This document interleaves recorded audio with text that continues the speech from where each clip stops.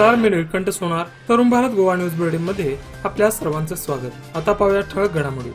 नवीन वाहतूक दंड आणि मोटार वाहन कायदा आज मध्यरात्रीपासून लागू करण्यात येणार आहे. सत्तावीस वर्षाच्या कालावधीनंतर वाहतूक दंडामध्ये सुधारणा करण्यात आली आहे. एकोणीसशे पंच्याण्णवमध्ये दंडामध्ये सुधारणा करण्यात आली होती. आरटीओ आणि पोलीस विभाग या दोन्ही गोळ्यात अंमलबजावणी करणाऱ्या संस्था असतील. तसेच या कायद्यात पाचशे रुपयांपासून ते एक लाखापर्यंतचे दंड आकारले जाणार आहेत. अशी माहिती गोवा वाहतूक खात्याचे संचालक राजन सातार्डेकर यांनी आयटी सेल सोबत आयोजित केलेल्या बैठकीनंतर बोलताना दिली. मुख्यमंत्री डॉक्टर प्रमोद सावंत यांनी दोन हजार बावीस तेवीसच्या अर्थसंकल्पात नुकताच राज्यातील कॅसिनोच्या कामकाजाचे नियमन करण्यासाठी नवीन नियम अधिसूचित करण्याचा प्रस्ताव मांडला. कॅसिनोच्या कामकाजाला सुव्यवस्थित आणि नियमन करण्यासाठी गोवा दमन आणि दीव सार्वजनिक जुगार कायदा एकोणीसशे शहात्तर अंतर्गत नवीन नियम लागू केले जातील. प्रसारमाध्यमांना संबोधित करताना त्यांनी सविस्तर काहीही बोलण्यास नकार दिला. आम्ही त्यावर काम करत आहोत आणि तुम्हाला कळेल असे मुख्यमंत्री डॉक्टर प्रमोद सावंत यांनी सांगितले. मुख्यमंत्री प्रमोद सावंत यांनी दोन हजार बावीस तेवीस या वर्षासाठी सादर केलेल्या अर्थसंकल्पाचे संधी लेखापाल संस्थेच्या गोवा शाखेने स्वागत केले आहे. अर्थसंकल्पाने कोणताही मोठा धमाका केला नाही पण मुख्यमंत्र्यांनी सध्याच्या योजनांमध्ये वाढील बदलांवर लक्ष केंद्रित केले आहे.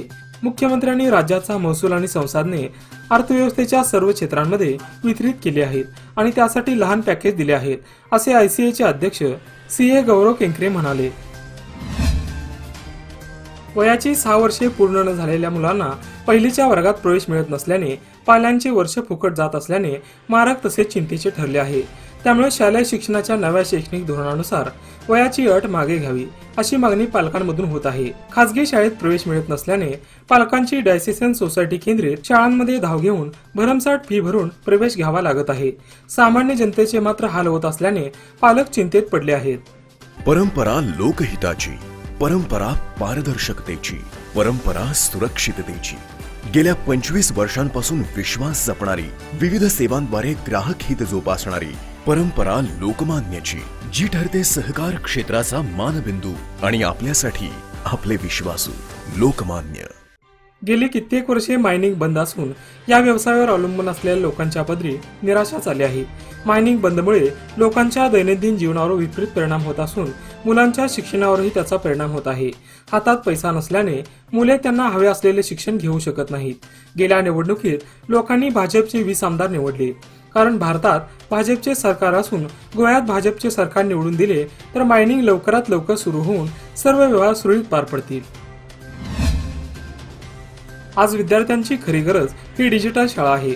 राज्य सरकारने शिक्षणात आमूलाग्र बदलांसह नवीन शैक्षणिक धोरण अवलंबण्याचा निर्णय नुकताच जाहीर केला आहे. राज्यभरातील बंद पडलेला एकूण अडुसष्ट प्राथमिक शाळा एखाद्या स्वयंसेवी संस्थेला चालवण्यास देण्यासाठी अर्ज मागवण्यात आले आहे. त्यामुळे फोंडा तालुक्यातील बंद पडलेल्या सोळा प्राथमिक शाळांचे भाग्य पुन्हा एकदा उजळणार आहे.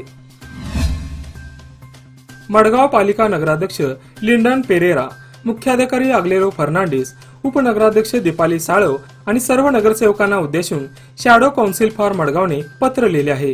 प्रसार माध्यमांद्वारे आम्हाला कळवले आहे की सोनसोडा प्रकल्पामध्ये साचलेला कचऱ्याच्या बायो रेमेडिशनसाठी एक प्रस्ताव आहे आणि त्यासाठी दोन पॉईंट सत्तर कोटी रुपये खर्च अपेक्षित आहे असे त्यात शॅडो कौन्सिलने म्हटले आहे. कचरा संकलन कंत्राटदाराच्या आरोग्य सेवा आणि योग्य परीक्षणाचा अभाव हे आजच्या परिस्थितीचे मुख्य कारण आहे. हे सत्य पालिकेने मान्य करण्याची वेळ आली आहे. याचबरोबर आजचे बातमीपत्र इथं संपले.